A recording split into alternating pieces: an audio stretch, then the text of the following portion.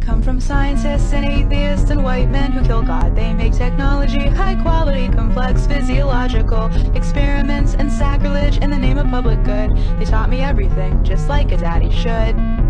And you were beautiful and vulnerable and power and success. Goddamn, I fell for you. Your flamethrowers, your tunnels, and your tech. I studied code because I wanted to do something great like you. And the real tragedy is half of it was true. But we've We're as flawed as any church. And this faux red West Coast dogma has a higher fucking net worth. I bit the apple cause I trusted you. It tastes like Thomas Malthus. Your proposal is immodest and insane. And I hope someday Selmers rides her fucking train.